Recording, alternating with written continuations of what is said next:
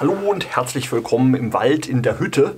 Äh, in der Hütte, weil es dunkel und es ist dann halt doch vom Licht her nochmal ein bisschen einfacher, ähm, das Ganze mit dem Autofokus hinzubekommen, der hoffentlich einigermaßen so bleibt, wie er sein soll. Ja, tut er.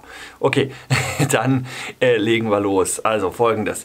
Plan für heute wäre, dass ich noch ein Stück nach hinten rutsche damit das dann nochmal ein bisschen besser äh, mit dem Licht an der Wand äh, in Anführungszeichen funktioniert. Aber ich glaube, das geht jetzt einigermaßen. Ja, man muss mich ja auch nicht gut sehen.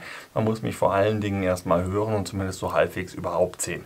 Äh, ich habe auch noch alternative Beleuchtungsmethoden, aber ich wollte jetzt die Fackel, da sie jetzt eh schon an ist, ähm, einmal zumindest runterbrennen lassen. So, ähm, es gibt jetzt seit neuestem den aktuellen Waldzustandsbericht, zumindest mal für Baden-Württemberg. Die Waldzustandsberichte für die anderen Bundesländer sind zum Teil wohl auch die Aufnahmen abgeschlossen und erste Ergebnisse veröffentlicht. Lediglich eine, eine, eine richtig schriftliche äh, Version der Ergebnisse, die man so frei im Internet findet, habe ich bei den meisten anderen Bundesländern jetzt noch nicht entdeckt. Ich habe nicht bei jedem Bundesland gesucht, deswegen sage ich bei den meisten anderen Bundesländern. Es sieht aber wohl so aus, als würde es wieder so ablaufen wie alle Jahre eigentlich. Der Waldzustandsbericht ist eine schöne Möglichkeit, um so ein bisschen äh, wissenschaftliche Daten auch zu instrumentalisieren. Jedes Bundesland muss einen Waldzustandsbericht anfertigen lassen. Das bedeutet, vor allen Dingen muss der Kronenzustand untersucht werden.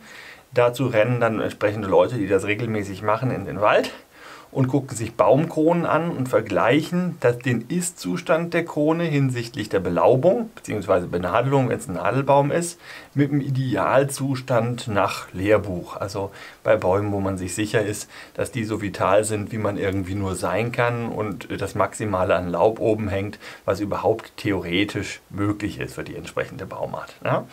Und dann vergleicht man eben, ideal wäre so ein Bild, äh, tatsächlich vorhanden ist so ein Bild und dann sagt man Nadel- bzw. Laubverlust 50% von mir aus. Ja? Dass also gegenüber dem Idealzustand 50% fehlen. Das ist sehr umstritten, diese Methode, ob man damit jetzt wirklich effektiv was zum Zustand des Waldes aussagen kann oder nicht. Will ich jetzt auch gar nicht großartig diskutieren, sonst äh, kommen wir hier nirgendwo hin. Aber äh, was die Methode auf jeden Fall kann, ist einen Langzeittrend abbilden. Denn das macht man jetzt inzwischen seit ungefähr äh, den 80er Jahren, den späten 80er Jahren, glaube ich. Habe ich jetzt gar nicht so genau im Kopf, wie lange das schon gemacht wird. Aber jedenfalls auch schon eine ganze, ganze, ganze Weile. Also mindestens, sagen wir mal, 20 Jahre. So.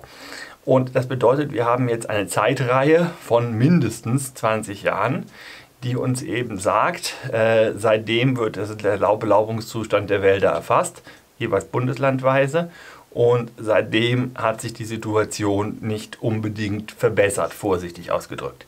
Es schwankt in den meisten Bundesländern ein wenig, der Belaubungszustand, aber netto geht es überall bergab. Ja? Ähm, seit, das ist zumindest in Baden-Württemberg feststellbar, in der Tendenz zumindest, glaube ich, auch in den meisten anderen Bundesländern, seit 2003 ist es nie mehr so gut geworden vom Belaubungsgrad wie vor 2003. Was war 2003? Da war ein extremer Dürresommer, so ein bisschen wie 2018 die kann man schon ganz gut miteinander vergleichen. Die Auswirkungen momentan scheinen allerdings von 2018, scheinen die Auswirkungen auf den Wald noch größer gewesen zu sein als 2003, aber rein von den Klimaextremen, von der Temperatur und vom fehlenden Niederschlag her äh, ist das relativ gut miteinander ungefähr vergleichbar. 2018 war nicht so warm wie 2003 äh, insgesamt, aber war dafür äh, deutlich trockener als 2003 und damit gleicht sich ungefähr aus, sollte man meinen. Aber wie es aktuell ausschaut, ist dann doch der Faktor Trockenheit noch ausschlaggebender gewesen als der Faktor Temperatur, der eben 2003 noch so ein bisschen höher gewesen ist. So, Bisher musste ich ja immer bei der Frage, wie geht es denn jetzt unserem Wald, wie schlimm ist denn die Situation, ziemlich viel rumspekulieren, weil mir halt eben die aktuellen Zahlen gefehlt haben, weil es noch keine Daten gegeben hat. Und man hatte bestenfalls eben noch diese Schätzung vom äh, Landwirtschafts- bzw. Waldministerium, wenn man so will, ähm, die halt gesagt haben, so und so viele 100.000 Hektar müssen nochmal neu bestockt werden, also neu, be neu bepflanzt werden, beziehungsweise da ist der Wald komplett weg. Die sind jetzt kahl. Äh? das waren, glaube ich, zuletzt 210.000, wenn ich das richtig in Erinnerung habe. Irgendwie sowas um den Dreh. Könnten auch noch ein bisschen mehr gewesen sein, ein bisschen weniger, ich kriege gar nicht mehr so ganz zusammen. Jetzt haben wir aber ja auch noch andere Zahlen, weil die Zahl, ja, die ist schon Ausschlag die Ausschlage, äh, aussagekräftig, das wollte ich sagen, das Wort habe ich gesucht, genau. Ähm, diese, diese so und so viel äh, Hektar müssen eben entsprechend neu bepflanzt werden. Aber man muss auch eben dazu sagen, das ist kein Wert, den man so wirklich vergleichen kann mit den anderen äh, Jahren. Man kann natürlich sagen, dieses Jahr ist besonders viel Waldfläche ausgefallen wegen letzten Jahr, das geht schon. Aber Interessant ist vor allen Dingen eben dieser Langzeittrend, der aus eben der Waldzustandsberichte, äh, aus den Waldzustandsberichten hervorgeht. So. Was muss man am Waldzustandsbericht grundsätzlich kritisieren? Das wollte ich auch noch schnell sagen. Belaubungszustand von Bäumen ist sehr, sehr individuell. Und äh, was die Aussagekräfte vom Waldzustandsbericht so ein bisschen schmälert, ist, dass der ja quasi sagt, dem Wald geht es immer schlechter und schlechter. Das ist so der Langzeittrend. Während gleichzeitig parallel dazu, zumindest bisher, das mag sich vielleicht irgendwann auch nochmal ändern, und wir hatten da 2003, 2004 auch einen größeren Einbruch bei den Zuwächsen der Bäume, also was die an eben entsprechend Holz zulegen. Aber grundsätzlich ist umgekehrt zum Rückgang der Belaubung äh, der Zuwachs an Holz eine positive Entwicklung. Ja? Also die Wälder wachsen immer schneller, der Biomassezuwachs nimmt zu, obwohl der Belaubungsgrad an den einzelnen Bäumen eher abnimmt. Deswegen kann man jetzt nicht einfach hingehen und sagen, Belaubungsgrad nimmt ab, also geht es dem Wald immer schlechter, wenn er doch besser wächst und schneller wächst. Ja? Also die Bäume an sich.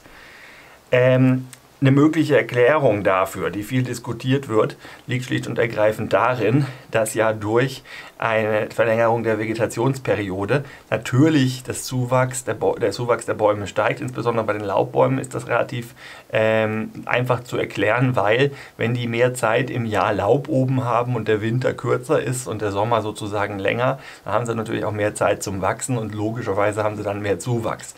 Vielleicht, aber nur vielleicht, das wollte ich einfach nur nicht verschweigen, äh, ist damit auch zu erklären, weshalb sie weniger Laub brauchen und der neue gesunde Baum eben nicht diesem Normbaum mit 100% maximaler Belaubung, was da theoretisch drauf passt, überhaupt noch entspricht. Weil wenn, das, wenn die Photosyntheseleistung der einzelnen Blätter höher ist, dann braucht man natürlich weniger Blätter, um den gleichen Effekt zu erzielen. Das heißt, eine hundertprozentige Belaubung ist möglicherweise, und das ist auch alles hochspekulativ und wird halt viel diskutiert in den Forstwissenschaften, äh, gar nicht unbedingt notwendig und damit kann das auch nicht unbedingt ein Indikator dafür sein, ob der Wald nun gesund ist oder nicht. Jetzt möchte ich aber auch nicht zu sehr äh, hier Anti-Panik machen, denn dem Wald geht es tatsächlich nicht gut und der aktuelle Waldzustand ist scheiße. Das ist so. Ja? Ähm, inwieweit man jetzt allerdings in wahnsinnige Panik ausbrechen muss und von einem Waldsterben 2.0 sprechen muss, das weiß ich halt einfach nicht. Das ist dann letztendlich Auslegungssache.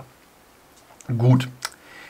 Jetzt findet man, wird man zumindest äh, auch häufiger in nächster Zeit die üblichen Sprüchlein in den Medien lesen können, nämlich es gibt 92% kranke Bäume im Wald von zum Beispiel Thüringen. Ich glaube, zu Thüringen war die Zahl 92% der Bäume sind krank gerade bei den Buchen insbesondere oder so. Nur noch 8% der Bäume sind gesund.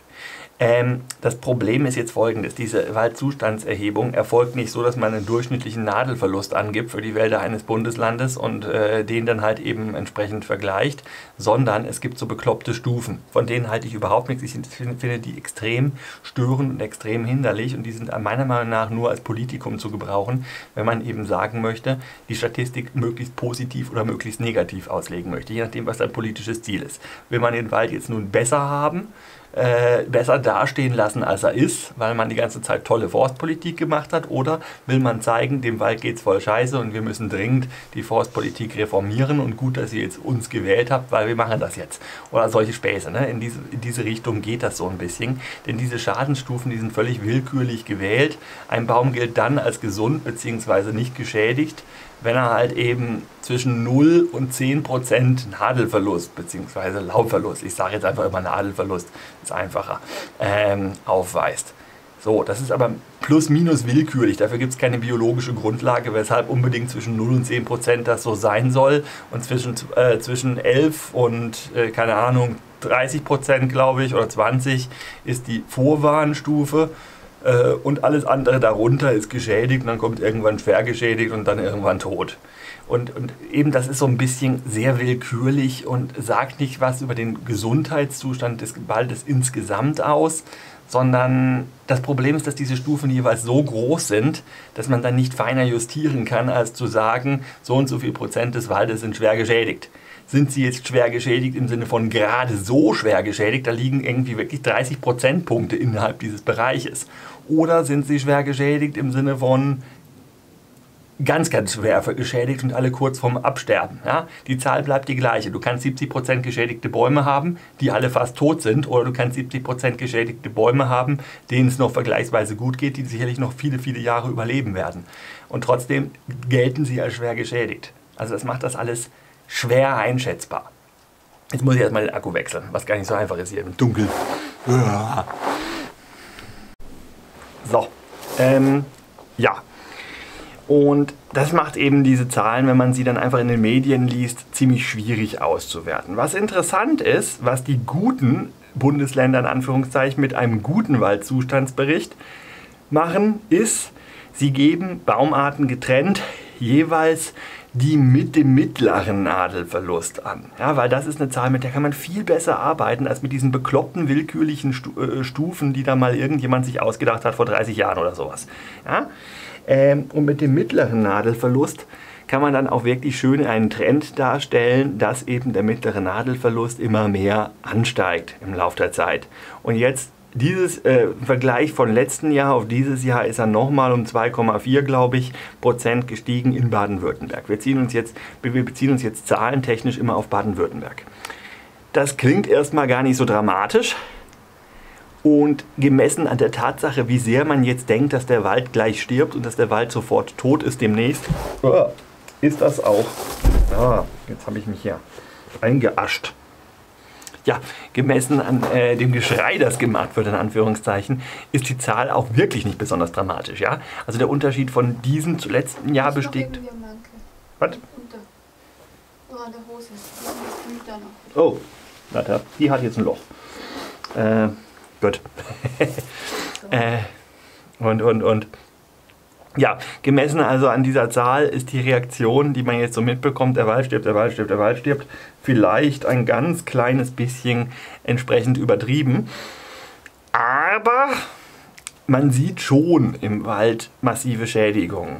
Und die Zahl mag klein sein, aber trotzdem ist sie so hoch wie fast noch nie.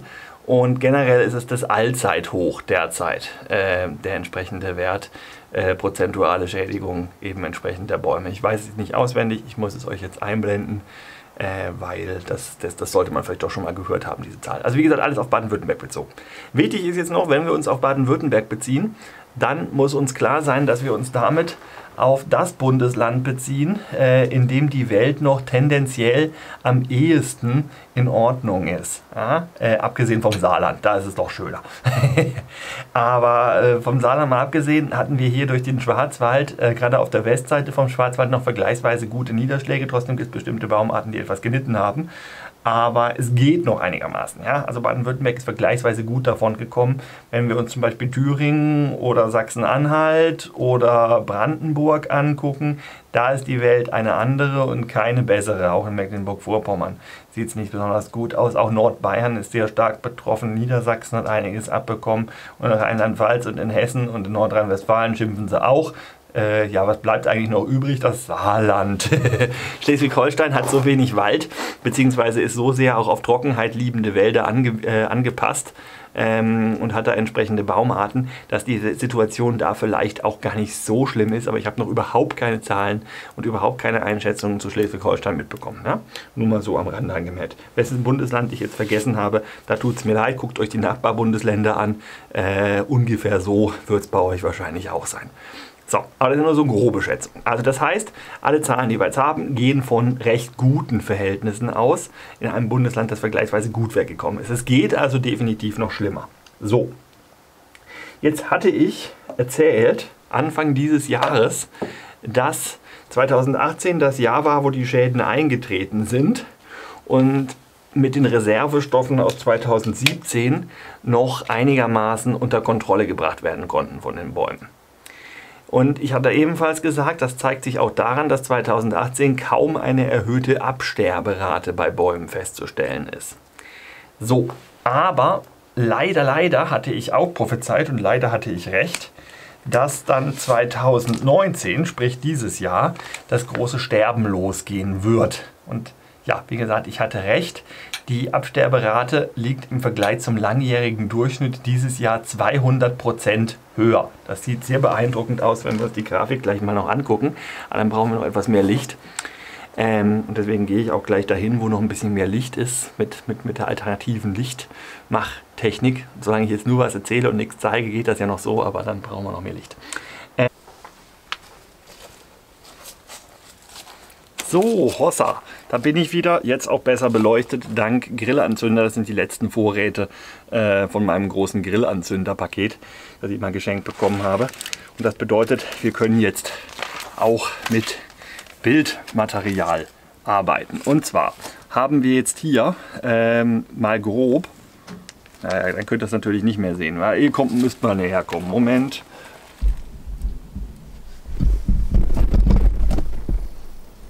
Scheiße. Jetzt, jetzt kann man es, glaube ich, einigermaßen gut genug sehen. Hier haben wir jetzt mal den Verlauf der Temperatur und der Niederschläge. Das blende ich euch dann gegebenenfalls auch noch rein, aber so habe ich es zumindest selber mal zum Angucken und äh, zum Vorzeigen. Äh, kurz blende ich es euch noch ein. Von eben 18 und 19. Sämtliche Grafiken, die ihr hier zu sehen kriegt, sind eben aus dem baden-württembergischen Waldzustandsbericht von der FVA, der Forstlichen Versuchsanstalt Baden-Württembergs, ähm, die eben so frei zugänglich zu haben sind auf der Seite vom äh, Umweltschutz und Verbraucherschutz und äh, Landwirtschaftsgedönsministerium. Genau, das da. Ne? Äh, da, wo die Julia Chefin ist.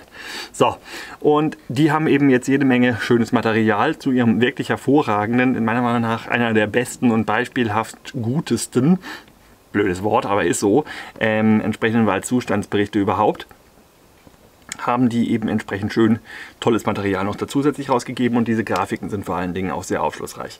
So, und was wir hier jetzt eben sehen, ist die Klimaentwicklung von Baden-Württemberg insgesamt in den letzten zwei Jahren Klima und Niederschläge. So, jetzt muss ich meine Fackel da mal kurz hinlegen. Keine Sorge, da kann nichts passieren, da ist überall Stein drunter. Und was wir hier haben, ist, äh, das hatte ich ja schon 2018 erklärt, im Januar 2018, diesen fetten blauen Balken hier nach oben, da war es sehr, sehr, sehr, sehr nass.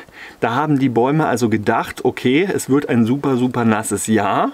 Wir legen enorm viele Früchte an, wir legen enorm viele Knospen an, wir wachsen wie blöd schon mal los, weil es wird ja ein sehr, sehr, sehr, sehr nasses Jahr. So, leider ist es dann kein sehr nasses Jahr geworden und auch die Temperaturen waren im Januar erstmal sehr hoch. Ich hoffe, ihr könnt die rote Linie einigermaßen erkennen äh, die hier auch noch eben entsprechend mit drin ist.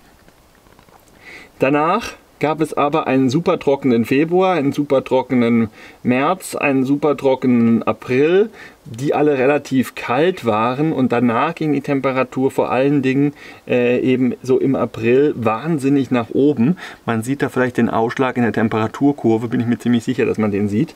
Äh, blieb dann konstant auf einem super hohen Niveau bei zwar im Mai normalen Niederschlägen, aber äh, Juni, Juli, August deutlich unterdurchschnittliche Niederschläge und auch in den Herbst rein extrem unterdurchschnittliche Niederschläge bei gleichzeitig immer noch super hohen Temperaturen.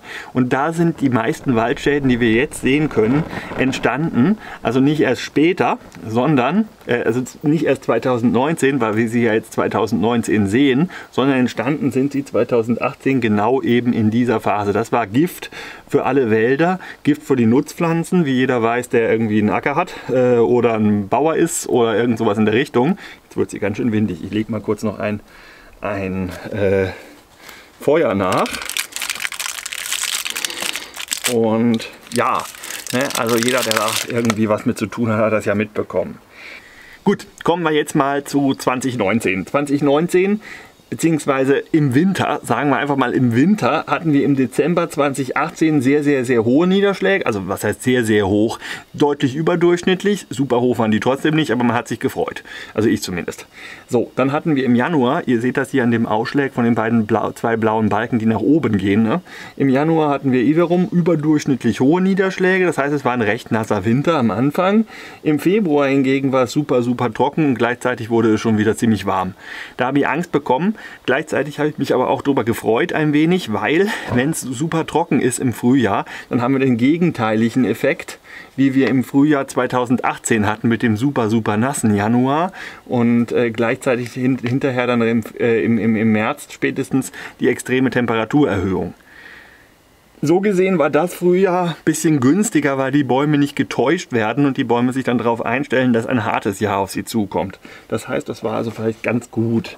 So, Februar, März, der Übergang war ein klein wenig überdurchschnittlich nass, gleichzeitig noch viel zu warm. Und dann hatten wir das Glück, dass, beziehungsweise das Pech, dass März, April wieder ziemlich trocken gewesen sind. Da sah es dann so aus, als würden wir ein weiteres Trockenjahr, also extrem Trockenjahr für Baden-Württemberg bekommen. In anderen Regionen Deutschland war es das auch. Ja? Wir gucken uns jetzt nur Baden-Württemberg an. In anderen Regionen Deutschlands war es das ganze Jahr über wieder sehr, sehr trocken. Ja, da gab es keinen Erholungsmonat. Aber im Mai gab es dann, hier ist nochmal dieser kleine blaue Ausschlag, so ein bisschen Erholung. Im Mai hat es überdurchschnittlich viel geregnet. Wäre dieser Mai nicht gekommen und hätte die Situation des Bodenwasserangebots für die meisten Baumarten nicht nochmal schlagartig verbessert, dann hätten wir jetzt in Baden-Württemberg genau die gleichen Probleme wie Sachsen hat, wie Thüringen hat, äh, wie, wie, wie Brandenburg hat und so weiter. Also dieser Mai hat uns quasi gerettet. Und jetzt hatten wir dann nochmal einen relativ trockenen Juni, Juli. Im August war es ein Hauch überdurchschnittlich nass und seitdem, kann ich bestätigen, regnet sehr, sehr gut bei uns. Heißt, nächstes Jahr für Baden-Württemberg rein von den klimatischen Daten her Bisher sieht es nach Entwarnung aus. Bisher sieht es so aus, als würde es nicht nochmal ein extrem trockenes Jahr äh, in Folge geben für Baden-Württemberg. Aber das kann man selbstverständlich noch überhaupt nicht vorhersagen und das ist hochspekulativ, ja? Aber grob so ist der Stand der Vegetationsperiode eben gewesen. So hat sich das Ganze entwickelt. Und jetzt habe ich ja gesagt, dieses Jahr wird gestorben. Ja? Ähm, letztes Jahr wurde geschwächt dieses Jahr wird gestorben. Und dazu gucken wir uns jetzt auch noch mal eine schöne Grafik an. Wie gesagt, alle Grafiken aus äh, besagter Quelle, die ich euch selbstverständlich auch verlinke. Hier haben wir die Entwicklung, man kann das hoffentlich, ja man kann, kann man genug sehen, äh, die Entwicklung der Absterberate über die Zeit von 2005 also die letzten Auswirkungen von dem Extremjahr 2003 sind hier noch sichtbar, indem wir hier einen deutlichen Peak nach oben haben, wo eine höhere Absterberate als durchschnittlich eben entsprechend geherrscht hat. Bis 2019 und was wir hier in dieser Grafik wirklich wunderschön sehen können, ist, ich hatte leider recht, 2019 wird massiv gestorben. Und zwar so sehr wie noch nie. Ja? Äh, direkt nach 2003 haben auch erhöhte Absterberaten geherrscht. Die sind hier jetzt nicht drin, aber die waren auch nicht so hoch wie die jetzt 2019. Tatsächlich haben wir jetzt 2019 also die höchste Absterberate für Waldbäume, die äh, je gemessen wurde. Ja, das gibt einem so ein kleines bisschen zu denken. Also jetzt zumindest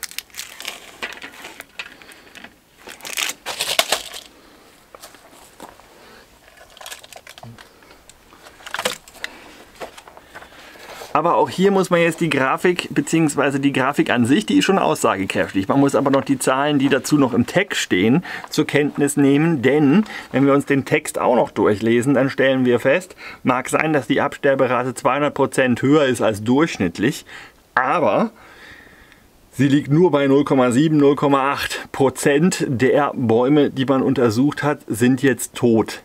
Das ist extrem hoch.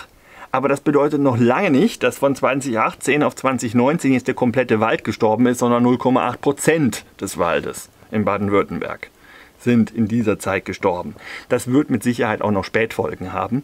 Also da sind nächstes Jahr garantiert nochmal überdurchschnittlich viele Bäume tot.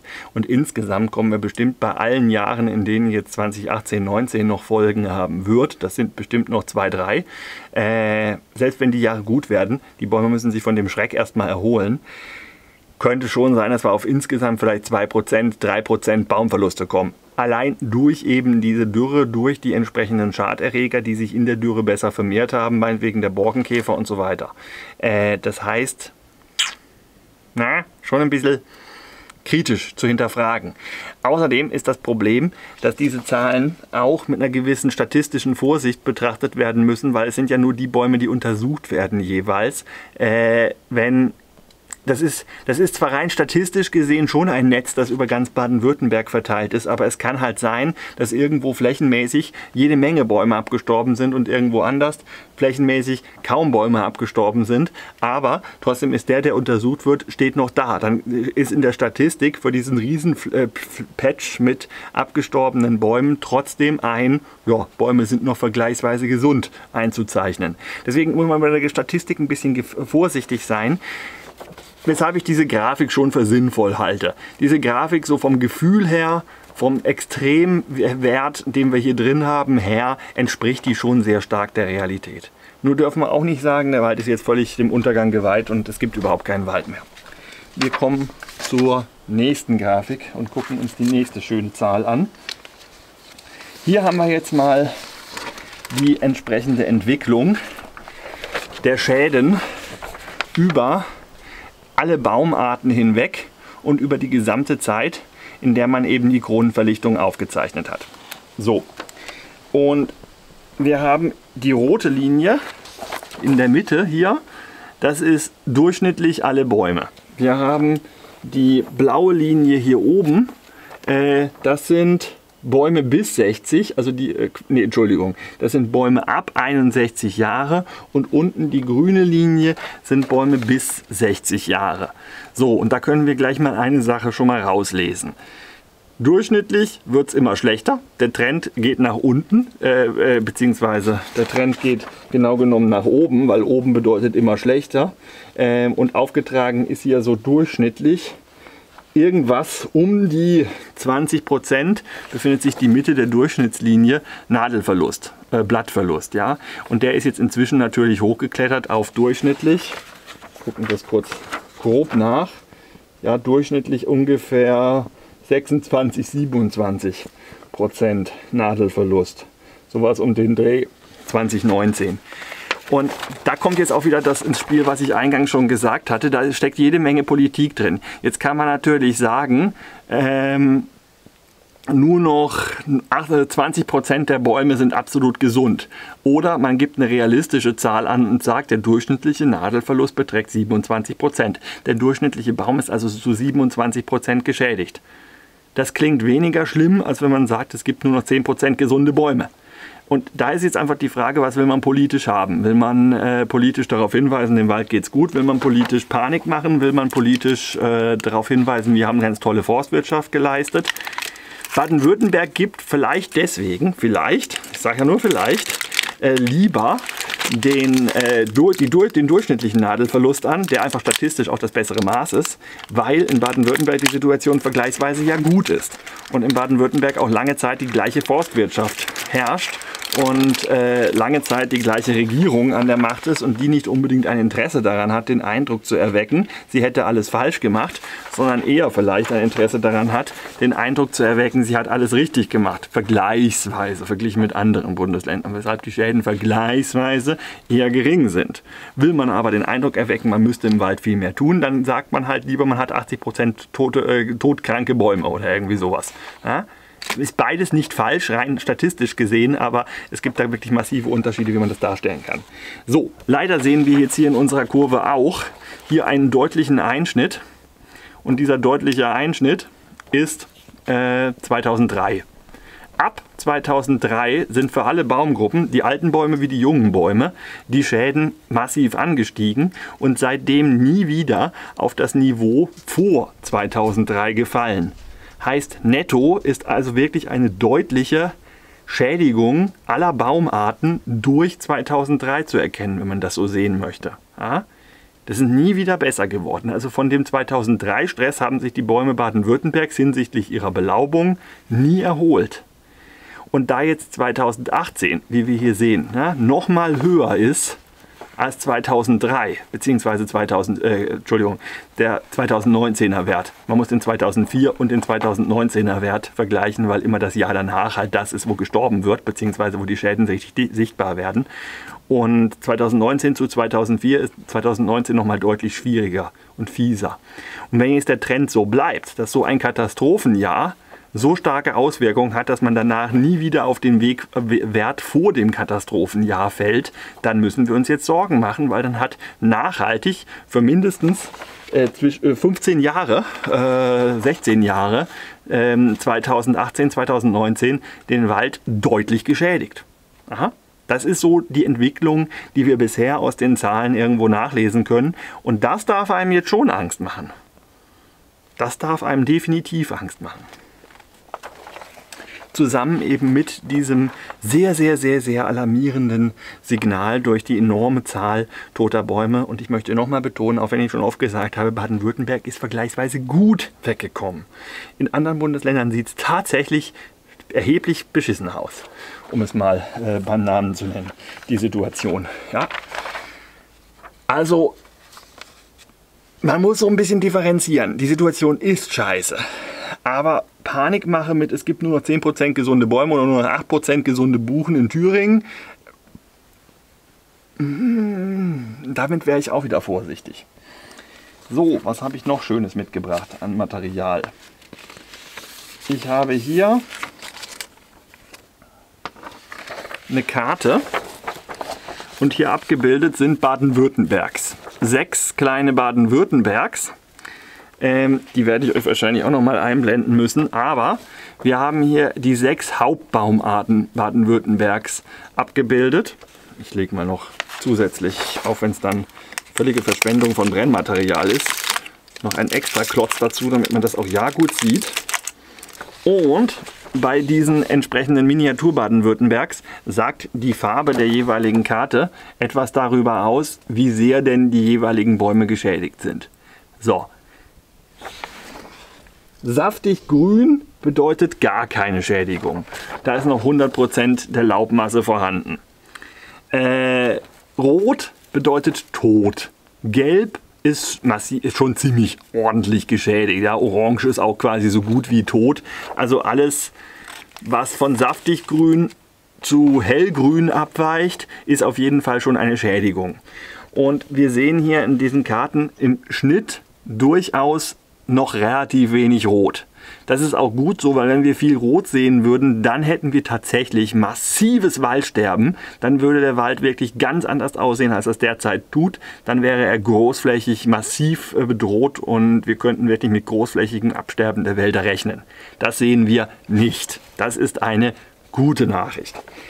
Was wir allerdings auch sehen, ist gelbe Flächen immer mal wieder gelbe Flächen, je nach Baumart. Und daraus können wir schließen, dass es in bestimmten Ecken des Landes durchaus Regio äh, Probleme mit verschiedenen Baumarten geben wird. Und es gibt auch Ecken des Landes, eines guten Landes, eines fruchtbaren Landes mit hohen Niederschlägen, in denen es quasi keine der Standard-Hauptbaumarten mehr gibt, die man da sinnvollerweise noch hinstellen könnte, äh, in Anbetracht dessen, dass sie offensichtlich überall leidet. Mit so ein paar Ausnahmen. Ja? So, gehen wir mal die Dinger mal durch. Hier oben haben wir das da, das ist die Fichte. Jetzt ist die Fichte erstaunlich grün. Wie kann das sein? Die Fichte ist doch die Baumart, die so wahnsinnig sehr, sehr leidet. Ja, aber tatsächlich, muss man auch noch dazu sagen, ist die Fichte auch die Baumart, von der schon jede Menge weg ist. Was also an Fichte noch da ist, ist meistens die Fichte, die ohnehin jetzt langsam nur noch auf den guten Standorten draufsteht. Also wir haben bei der Fichte inzwischen wirklich eine gewisse Anpassung, einfach dadurch, dass sie entweder weggestorben ist oder da steht, wo es eine vergleichsweise gute Situation vorfindet. Was die Fichte derzeit zum Absterben bringt, ist auch nicht die Trockenheit an sich, ist nicht der Nadelverlust an sich, sondern ist der Borkenkäfer. Und wenn sie den Borkenkäfer drin hat, dann ist sie halt gleich direkt tot, ohne dass sie vorher diese Stufen des Nadelverlusts durchläuft. Ähm, was in dieser Karte nämlich nicht eingetragen ist, ist generell tote Bäume, sondern nur der Zustand der noch vorhandenen Bäume. Das macht diesen Karten auch schon wieder schwierig. Ich meine, die sind hervorragend und ich will überhaupt nicht an den äh, Kollegen aus Freiburg rumnörgeln. Das haben sie alles wirklich super gemacht. Der Waldzustandsbericht dieses Jahr ist wirklich äh, großartig geschrieben, auch äh, sehr gut formuliert, auch für die Allgemeinheit sicherlich sehr verständlich. Guckt gerne selber mal rein. Ähm, aber eben, das ist halt Statistik und das eigentliche Waldbild sieht schon noch mal ein bisschen anders aus. Nichtsdestotrotz ist die Statistik selbstverständlich wichtig. Ja? Sonst können wir es nicht vergleichen, sonst haben wir überhaupt keine Möglichkeit, irgendwie Daten und Wissen aus der Situation zu ziehen. Also schon nicht irrelevant. Aber was wir feststellen, besonders gelb ist die Situation äh, im Bereich vom Rhein, grob gesagt, also nochmal westlich vom Schwarzwald. Dann der, West, äh, der Westhang vom Schwarzwald ist auch stark betroffen. Insbesondere sterben die Kief, Kief, äh, Fichten im mittleren Schwarzwald, im nördlichen Hochschwarzwald, im Südschwarzwald gibt es auch reichlich Tote. Und weiter hinten, dann im weiteren Bereich von Baden-Württemberg, da geht es noch einigermaßen. Auf der Schwäbischen Alb haben wir auch nochmal einige, einige tote Fichten, beziehungsweise deutliche Nadelverlichtungen bei Fichten, die nochmal über das Vorjahr hinausgehen. Aber grob muss man sagen, sagen, verglichen mit anderen Bundesländern ist die Fichtensituation bei uns erstaunlich entspannt. Wenn da die Sache mit dem Käfer nicht wäre, ja, aber der wird hier wie gesagt nicht abgebildet. Und das führt halt dazu, dass man sich Na toll, jetzt lange ich im Dunkeln auch noch in die Brennnessel. Ah.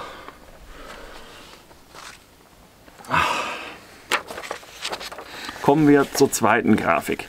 Die ist relativ viel weiß, wie man hier sehen kann. Ne? Ähm, das liegt einfach daran, dass es sich um die Tanne handelt. Die hat selbst in Baden-Württemberg, wo sie das größte Verbreitungsgebiet überhaupt hat, immer noch ein vergleichsweise kleines Verbreitungsgebiet. Und wir sehen fast kein Gelb. Wir sehen ziemlich viel dunkelgrün. Wir sehen auch ziemlich viel hell, ja was heißt, wir sehen ein bisschen hellgrün, aber wir sehen fast kein Gelb und Rot schon gar nicht. Das heißt, die Tanne, die Tanne ist so ein Spezialfall. Da kommen wir auch gleich noch mal ein bisschen detailliert dazu. Sie hat zwar jetzt auch gelitten. 2018 hat sie noch überhaupt keine, also fast keine erhöhten Schäden gezeigt. Jetzt hat sie welche, aber sie schneidet immer noch, verglichen mit den anderen Hauptbaumarten, relativ gut ab. Ja?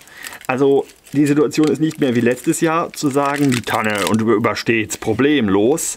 Aber äh, es ist auch nicht so, dass man sagen müsste, die Tanne ist überhaupt nicht resistent. Verglichen mit einem anderen Zeug geht es ihr schon noch recht gut. Aber die Tanne hat inzwischen auch Probleme durch den Tannenborkenkäfer bekommen. Also so ähnlich wie die Fichte durch den Fichtenborkenkäfer ist jetzt auch die Tanne langsam betroffen. Durch die Dauertrockenheit, eben entsprechend bei zwei trockenen Jahren äh, in Folge, sind auch die Möglichkeiten der Tanne, das zu überstehen, dann irgendwann begrenzt. Die ist einfach geschwächt, dann kommen Schwächeparasiten, nützen die geschwächte Situation aus und gehen halt eben entsprechend auch auf das Tännchen. Und deswegen haben wir da jetzt auch Schäden. Aber wie gesagt, zwar sind jetzt welche da, aber sie sind immer noch verglichen mit anderen Baumarten relativ gering, weshalb die Karte, wo es Tanne gibt, noch vergleichsweise grün ist. So in dieser Übersicht sieht man die Schäden also quasi noch gar nicht. Dann kommen wir zur Kiefer. Bei der Kiefer ist der Großteil des Landes auch noch relativ grün. Wir können aber im Oberrheingraben massive Stellen, wo es ziemlich gelb wird, erkennen. Und da kann man davon ausgehen, dass da demnächst sämtliche Kiefern sterben werden. Also diese sandigen Böden der Rheinebene äh, mit tief anstehendem Grundwasser. Der Rhein funktioniert sozusagen als Wasserabsauger, äh, wenn man das so nennen möchte. Die machen der Kiefer massiv zu schaffen und das ist deswegen ein großes Problem, wenn der Kiefer zu trocken wird, dann wird es allem anderen auch zu trocken, weil die Kiefer ist fast schon das Trockenheitsresistente von den bisherigen Bäumen, die man bisher so kennt, weil es gibt. Ja, aber wenn der Kiefer da verreckt, hat nichts anderes eine Chance. Gehandelt wird jetzt noch mit Roteiche, dass man also überlegt, ob man stattdessen Roteiche dahin pflanzt. Äh, manche haben schon gemacht, manche meinen, die Roteiche würde da besser performen. Ob das aber für die Zukunft wirklich eine gute Lösung ist, muss die Zukunft dann eben entsprechend zeigen. Ich wäre mit Roteiche tendenziell eher vorsichtig, aber das ist nur meine Meinung, das muss überhaupt nicht richtig sein. Gut, weiter machen wir mit hier unten die Buche. Bei der Buche haben wir um den Bodensee tatsächlich schon leichte Orangefärbungen. Sie hat um den Bodensee massiv gelitten. Da gibt es ganze Buchenwälder, die mehr oder weniger bis auf einzelne Stämme äh, sehr stark geschädigt sind. Die sind noch nicht alle tot, aber die brauchen jetzt wirklich ein gutes Jahr, um sich zu erholen. Die Buche ist eigentlich recht schnell im sich erholen, aber die braucht jetzt auch die Gelegenheit. Sonst, sonst ist die Kacke da wirklich um den Bodensee rum für die Buche ziemlich am Dampfen. Äh, auch im mittleren Schwarzwald hat sie massiv äh, gelitten. Zwischen Schwäbischer Alb und Schwarzwald hat sie auch massiv gelitten. Eigentlich muss man leider fast sagen, anhand dieser Karte ist die Buche die Verliererin jetzt 2019. An keiner anderen Baumart haben wir so landesweit so große Schäden. Es gibt fast nirgends Buchenbestände, wo überhaupt keine Schädigung vorliegt, mit einer Ausnahme. Und dazu können wir gleich mal zu meiner Theorie kommen, äh, was jetzt schuld dran ist, zum Teil, dass die Buche so viele Schäden zeigt. Weil normalerweise sagt, hat man ja gesagt vom Forst her, die Buche sei eine klimastabile Baumart. Die ganzen Prognosen für verschiedene Baumarten hinsichtlich der Eignung bei äh, Klimawandel haben der Buche eigentlich immer gute Chancen ausgerechnet. So, und jetzt ist sie doch geschädigt. Woran könnte das liegen? Naja, es sind einfach zwei extreme Trockenjahre in Folge. Da macht auch die Buche nicht mit. Aber theoretisch wenn sich die Buche äh, Zeit nimmt, um sich langsam anzupassen an eine deutlich trockenere Situation, dann kriegt sie das auch hin. Wer mal mit mir auf Exkursion war äh, in Nordrhein-Westfalen, der hat diesen wunderschönen Buchenwald gesehen, durch den wir da durchlatschen, der 0, überhaupt gar keine Schädigungen durch 2018 und 2019 aufweist. Und der hat auch meine Theorie dazu gehört, dass ich sehr stark vermute, dass es daran liegt, dass die Buche es da einfach gewöhnt ist, dass sie dauernd im Trockenen rumsteht. Ha? Weil da ist es immer trocken. Ob jetzt ein Jahr mitteltrocken ist, dann ist es für die Buche da trotzdem immer noch sehr, sehr, sehr trocken. Oder ob ein Jahr extrem trocken ist, dann ist es für die Buche da sehr, sehr, sehr trocken, plus ein klein bisschen trockener. Das macht einfach keinen großen Unterschied mehr aus. Die Wissenschaft gibt mir dahingehend recht, dass das auch für andere Baumarten gilt, was, äh, dass die Kollegen in Freising, wo ich auch studiert habe, im Kranzberger Forst Roof Experiment, ähm, einfach mal Bäumchen eingepflanzt haben und ein Dach drüber gestellt, um zu simulieren, dass es eben nicht regnet. Und das Resultat war, äh, die ersten Jahre haben sie es vor sich hingekümmert, viele sind auch eingegangen, aber nachdem sie dann eine Weile es gewöhnt waren, dass es standardmäßig trocken ist, haben sie sich angepasst und haben danach kaum noch signifikante Schädigungen durch Trockenheit zu einer Kontrollgruppe, die nicht so sehr unter Trockenheit gelitten hat, äh, gezeigt. Ja, das Wachstum war insgesamt nicht super doll, das war auch nicht zu erwarten gewesen, aber wenn Sie genügend Zeit haben und nicht absterben, dann schaffen Sie es auch, sich auf eine Trockenheitssituation anzupassen, die mehr oder weniger plötzlich auch eintritt. So die Ergebnisse dieses Experiments. Ganz vorsichtig ausgedrückt, das ist auch noch nicht ganz fertig, das sind so ein paar Zwischenergebnisse. Aber in diese Tendenz scheint es so ein bisschen zu gehen. Ja? Ich bin auch nicht derjenige, der das gemacht hat, ich habe da überhaupt nichts mit zu tun. Ich habe nur so ein paar Zwischenergebnisse mitbekommen. Und das macht mir wieder Hoffnung, dass meine eigenen Beobachtungen in besagten Buchenwald, wo wir da dauernd durchlaufen, meine eigenen Beobachtungen in anderen Buchenwäldern, je trockener der Standort, desto weniger die Schäden. Äh, das haben auch bekannte Förster äh, bei sich im Revier auch schon festgestellt. Den Buchen, die ohnehin schon schon trocken haben, scheint es besser zu gehen als denen, die normalerweise üppig Wasser zur Verfügung haben. Ja, das ist so ein bisschen, wenn man das übertragen möchte, vielleicht so, wie wenn du äh, jemanden, der es gewöhnt ist, dauernd zu schlemmen, jetzt sein Essen wegnimmst der wird wahnsinnig, ja, der wird total leiden. Wenn jemand, der ohnehin kaum was zu beißen hat, ein klein bisschen weniger zu beißen kriegt, dann gefällt dem das auch nicht, aber der weiß, wie er damit umgeht. Der kommt damit schon noch irgendwie zurecht. Der wird da nicht gleich dran sterben und dran zugrunde gehen und deswegen überhaupt nicht mehr funktionieren. Und so ist es halt, halt die Luxusbuche bei Luxussituationen, leidet extrem, während die Buche, die es gewöhnt ist, ist eh alles scheiße, nur ein bisschen mehr Scheiße macht die Sau da nicht mehr fett. Ja? Also das ist meine Theorie. Das ist noch überhaupt nicht bestätigt von der Forschung, aber, aber ich finde, es würde Sinn machen. So, gucken wir uns jetzt nochmal die Eiche an. Da sehen wir im östlichen Baden-Württemberg, im östlichen Baden-Württemberg jede Menge Gelb. Ja, Darf uns das Angst machen? Das darf uns gar sehr Angst machen.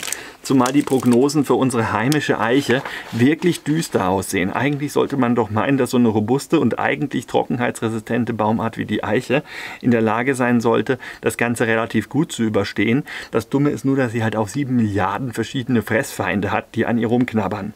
Und wenn es dann trockener wird, kann sie sich weniger gut gegen ihre sieben Milliarden Fressfeinde wehren. Und wenn die an alle kommen und an ihr rumknabbern und von den hohen Temperaturen dadurch profitieren, dass sie eine geringere äh, Generationszeit haben, sich einfach schneller entwickeln, ihre Larven schneller schlüpfen, äh, schneller zum erwachsenen Tier werden, schneller Eier legen, die Eier schneller schlüpfen und immer so weiter. Und das über das ganze Jahr. Dann hat unsere Eiche, auch wenn sie eigentlich eine sehr robuste Baumart ist, halt unglaublich viel mit entsprechenden Schaderregern zu kämpfen. An der Eiche wohnt mehr als an jeder anderen Baumart. Das ist zwar gut für die Biodiversität, aber schlecht für die Eiche, weil die meisten, die an ihr wohnen, nicht unbedingt Nützlinge sind. So, hier ist jetzt noch die eine Sache auf der Karte, die, ich klappe es noch mal ein bisschen um, äh, deutliche, ich hoffe man sieht es, Orangetöne mit hier und wieder auch Rottönen aufweist. Das ist die Esche. Die Esche wird sterben. Die Situation der Esche, da kann man auch mal sehen, wie sieht denn die Karte aus, wenn es wirklich scheiße ist. So wie hier bei der Esche. Ja? Hätten wir das bei den anderen Baumarten auch, dann hätten wir mit Sicherheit etwas, was man problemlos als Waldsterben bezeichnen kann. Langfristig mag die aktuelle Situation, die ist nämlich wirklich mies, schon zu einem Waldsterben führen. Langfristig mag der Begriff durchaus richtig sein, aber ich tue mich damit immer noch schwer.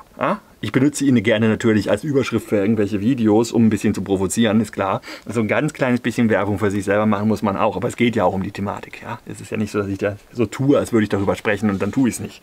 Deswegen hoffe ich, das ist in Ordnung. So, die Karten haben wir jetzt gesehen, auch die geografische Einteilung. Nochmal zurück zur Buche. Wo ist die Buche am wenigsten geschädigt? Auf der Schwäbischen Alb. Wo sind die trockensten Standorte für Buche in äh, Baden-Württemberg? Auf der Schwäbischen Alb. Denkt mal drüber nach. Und dann kommen wir zu unseren letzten zwei Grafiken. Also es sind nochmal jetzt die, die sechs Bäume als Kurve dargestellt. Äh, die liest man jetzt folgendermaßen, vielleicht für diejenigen, die damit nichts so anfangen können. Hier ganz, ganz außen, hier auf der Seite, also bei denen entsprechend da, ist das Jahr 1985. Ja, es geht also los bei 1985 und geht bis 2018. Und die entsprechende Linie stellt den Nadelverlust, den mittleren Nadelverlust in Prozent dar. Und wir können an dieser Linie jetzt wunderbar ablesen, wie sehr haben denn die einzelnen Baumarten im Vergleich zueinander gelitten. Zum Beispiel hier haben wir bei dieser Baumart eine massive Zunahme des Nadelverlustes ab 2003. In der Mitte ist ungefähr 2003 und das sieht man eigentlich bei fast allen Kurven, dass bei 2003 der Punkt ist, wonach es nicht mehr runtergeht. Ja, davor ist es so ein Auf und Ab und ab 2003 nur noch ein Auf. Also je weiter unten, desto besser, je weiter oben, desto schlecht. So, und bei der Fichte hatten wir nämlich interessanterweise eine vergleichsweise gute Erholung, nachdem 2003 hier für diesen Buckel gesorgt hat, diesen, diesen ziemlichen Anstieg, den wir hier sehen können. Ne? Äh, danach hat sich die Fichte vergleichsweise gut erholt und hatte sogar unterdurchschnittlich, sogar recht gute Werte um 2009 rum. Dann ging es mal hoch, ging es mal runter, blieb so auf durchschnittlichem Niveau bis 2017 und 2018, 19 ist natürlich nochmal eingestiegen. Aber gar nicht so dramatisch. Bei der Tanne ist es hier ganz eindrucksvoll, das ist die hier, äh, dass sie in den 80ern und 90ern massive Schäden erlitten hat durch eben den sauren Regen. Dafür hat sie sich ja als sehr, sehr empfindlich erwiesen. Und als dann die Sache mit dem ersten Waldsterben, das so genannt wurde, äh, vorbei war, hat sich die Tanne massiv erholt. Dann ging es ihr immer, immer, immer besser. Sie hat auch 2003, 2004 nur einen minimalen Ausschlag hin zu einer durchschnittlichen äh, Nadelverlustrate. Ja, es ist nicht mal schlimmer geworden als durchschnittlich durch 2003, 2004. Das hat sie erstaunlich gut vertragen und erst jetzt 2019 zeigt die Tanne wieder erhöhte Schäden. Also erst jetzt macht ihr das mal wieder was aus mit der Trockenheit. Deswegen halte ich es für falsch, jetzt zu sagen, selbst die Tanne schwächelt jetzt aus meiner Sicht ist richtiger, natürlich ist die Tanne nicht unsterblich und die Tanne ist ein gewisses Mimöschen auch für verschiedene Krankheiten, das ist so. Aber insgesamt muss man schon sagen, äh, wenn man das mit der Fichte äh, vergleicht, geht es der Tanne immer noch viel besser. Und die Tanne hat ähnliche Holz- und Wuchseigenschaften wie die Fichte. Und deswegen führe ich die Tanne weiterhin gerne als mögliche Alternative zur Fichte, wo denn Tanne geht. Ja, Tanne geht nicht überall. Man kann jetzt nicht einfach sagen, okay, wir tauschen jetzt Fichte mit Tanne ganz einfach überall aus.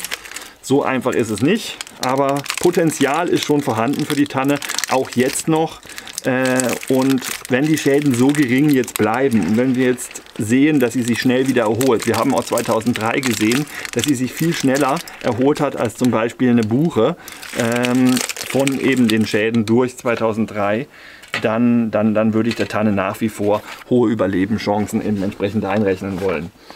Hier unten ist die Kiefer. Die Kiefer hat auch nochmal massive äh, äh, wo ist die Kiefer? Da ist die Kiefer. Die Kiefer hat massive Aussterb äh, Ausschläge am Ende des entsprechenden Waldsterbens. Da kann man das nochmal ganz schön sehen. Dann ging es eigentlich ganz gut, weil die Kiefer ist ja trockenheitsresistent. Vielleicht hängt das damit zusammen, dass sie gar nicht so viele Schäden entsprechend bekommen hat. Sie hat auch äh, 2003 ganz gut überstanden mit etwas durchschnittlichen Schäden, hat sich dann bis 2006 ungefähr wieder erholt, ist auf durchschnittliches Niveau runtergefallen, war von 2010 bis 2017 eher unterdurchschnittlich unterwegs und ist dann 2018, 2019 mal wieder massiv geschädigt worden. Ist aber noch nicht auf dem Schädigungsniveau angekommen wie zu Zeiten des Waldsterbens, was halt eben noch durch sauren Regen verursacht war. Also ja. Die Karte, die ich euch gezeigt habe, geht aber bei Kiefer wirklich in manchen Regionen davon aus, dass sie keine Chance mehr haben wird. Generell natürlich auf den besser wasserversorgten Standorten, da kann immer eine Kiefer wachsen. Da hat sie überhaupt keine Schwierigkeiten. Sie ist halt nur dafür kein besonders wertvoller Baum. Ja? Irgendeinen Baum da haben ist vielleicht besser als einen wertvollen, äh, als gar keinen Baum da haben, aber wirklich Geld verdienen lässt sich mit der Kiefer nur eingeschränkt. Es sei denn, man hat sehr, sehr große Kiefernbestände, dann geht es wieder einigermaßen, aber für Baden-Württemberg wird die Kiefer sicherlich nicht eine besonders tolle Option sein. So, die Buche, da sieht es leider so aus, dass sie eigentlich bis 2003 immer unterdurchschnittlich geschädigt war. Ja? Bis 2003 war hier alles relativ gut und ab 2003 zeigt sie jetzt immer ein Jahr mit viel Schaden, ein Jahr mit wenig Schaden, ein Jahr mit viel Schaden, ein Jahr mit wenig Schaden, beziehungsweise immer so in zweijährigem Abstand. Es ist eine wunderbare, fast schon Sinuskurve in, im engeren Abstand. Äh, engeren Abstand ja? Fast. Das liegt daran, dass die Buche auch sehr, sehr empfindlich reagiert auf Jahre, in denen sie fruktifiziert. Wenn sie fruktifiziert, wenn sie jede Menge Bucheckern runterschmeißt, was sie viel häufiger tut als früher, das kann man jetzt auch wieder als Indiz dafür sehen, dass es der Buche schlecht geht, weil sie versucht, möglichst viele Bucheckern zu produzieren. Man kann es aber auch als Indiz dafür sehen, dass es der Buche eventuell doch nicht so schlecht geht, weil sie immerhin noch in der Lage ist, jede Menge Bucheckern zu produzieren. Ja, und das Risiko jedes Mal wieder auf sich nimmt, jede Menge Bucheckern zu produzieren. In Jahren, in denen sie viele Bucheckern produziert, hat sie automatisch weniger Laubmasse, weil Bucheckern brauchen Kraft. Dann hat man also weniger Energie übrig, um besonders viel Laub anzulegen. Damit hat man sich bisher also die Schädigungen bei der Buche erklärt durch die hohe Fruktifikation. Dieses Jahr liegen die Schäden auf Rekordniveau ohne Fruktifikation. Letztes Jahr hingegen war die Fruktifikation extrem groß und gleichzeitig eben die Trockenheit. Deswegen vermute ich, äh, dass die Schäden dieses Jahr rein die Folge vom letzten Jahr sind und eigentlich, wenn nicht die Folge vom letzten Jahr da gewesen wäre, dieses Jahr für die Buche erheblich einfacher zu ertragen gewesen wäre. Nochmal die Erinnerung an die Bestände, die überhaupt nicht gelitten haben, die Trockenheit gewöhnt sind. Ich möchte also der Buche auf keinen Fall ihre Eignung als Zukunftsbaumarkt erstmal absprechen. Bei der Eiche sieht so aus,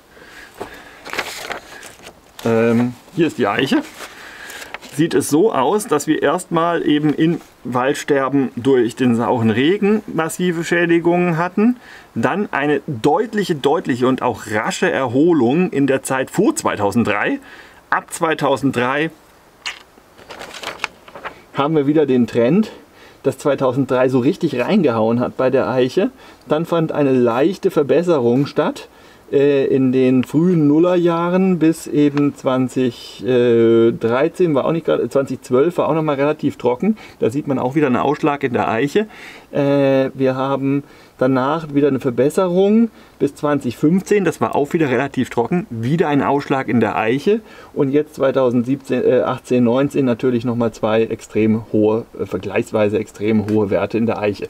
Die gute Nachricht, der 2019-Wert äh, entspricht noch nicht so ganz dem Wert von 2003, 2004.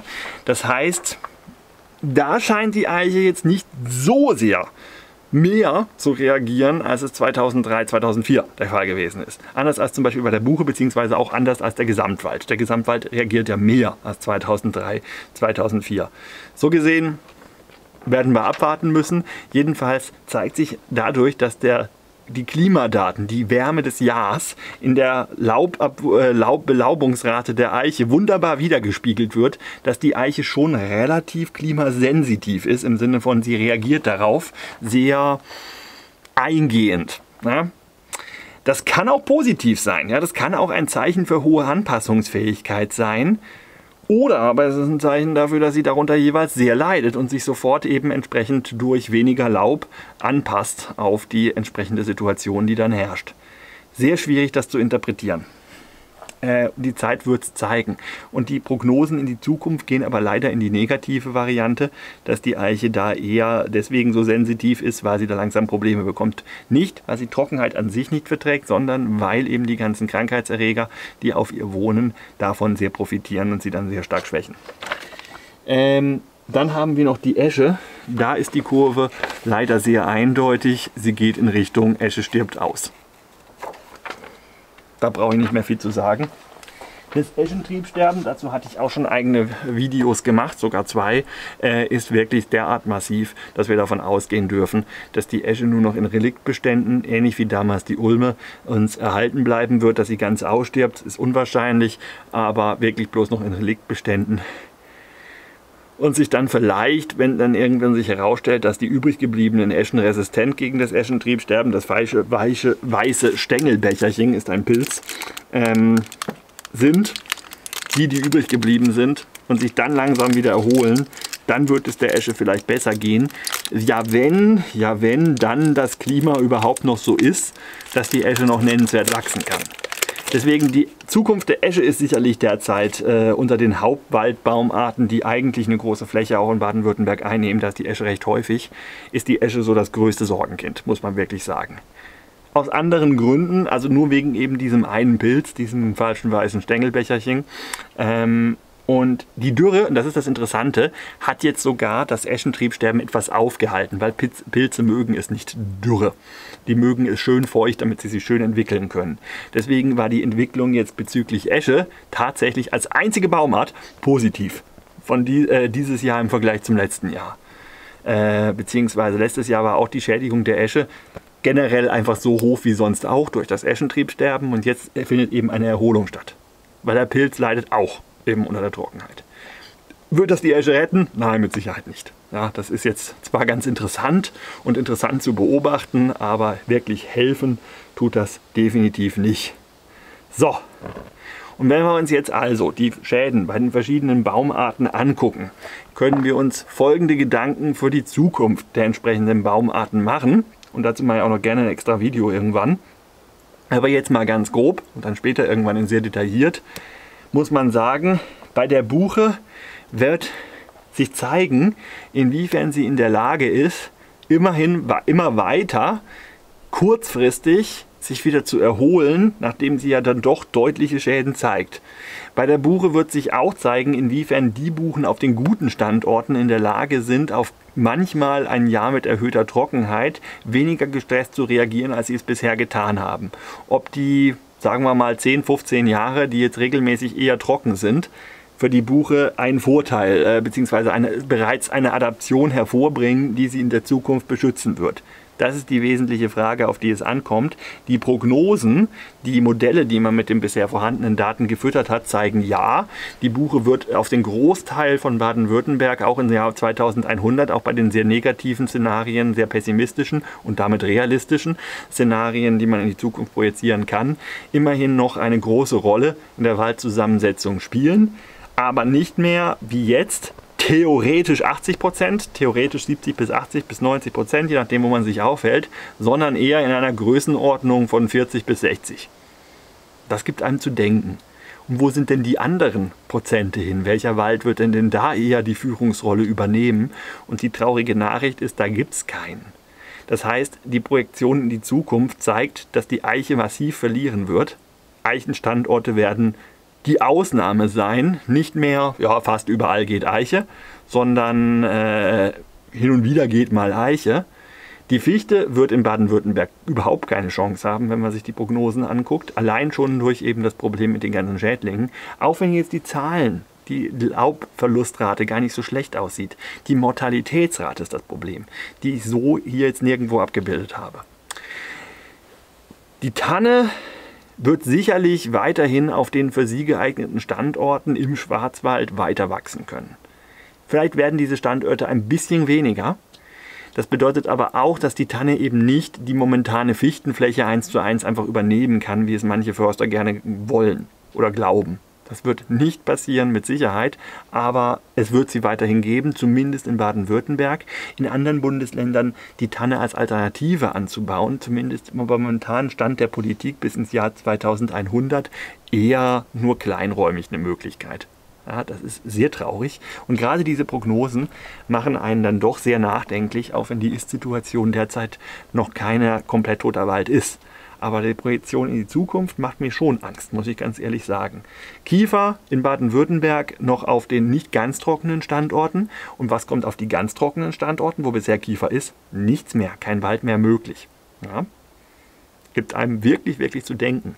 Inwieweit jetzt alternative Baumarten, Douglasie, die Baumhasel, der Tulpenbaum, äh, was denn noch, ähm, die Roteiche möglicherweise, das wirklich so sehr auffangen können, dass wir netto keinen Waldflächenverlust bekommen.